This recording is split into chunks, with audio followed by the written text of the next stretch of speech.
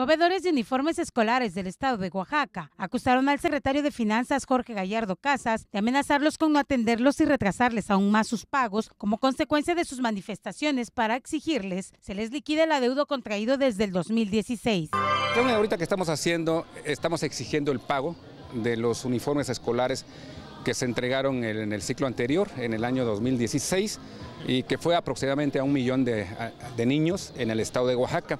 Eh, el gobierno está otorgando, eh, dando eh, uniformes a niños de preescolar de nivel básico, que en, México es de preescolar hasta secundaria.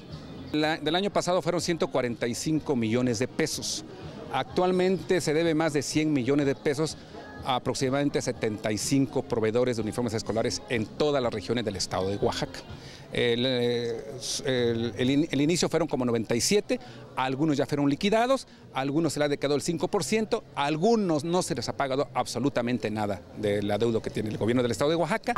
Los manifestantes dijeron que se les debe el pago de más de 100 millones de pesos por la entrega de uniformes escolares y que el secretario de Finanzas no les ha querido dar la cara para atender su situación. Por el contrario, así lo señaló Neftali García Aguilar, quien se dice proveedor independiente.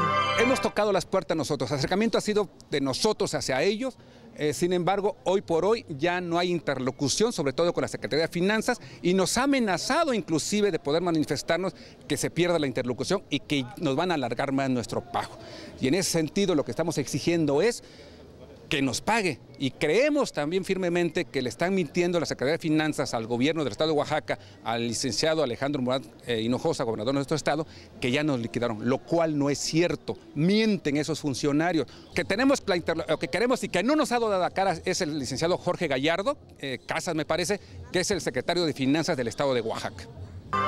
A pesar de ello, dijo que este ciclo escolar atendieron nuevamente a la demanda de uniformes, admitiendo que el gobierno del estado es el único cliente importante que tienen, por lo que prácticamente están en la quiebra. Con imágenes de Pablo Cruz informó para MBM Televisión, Alexi Espinosa.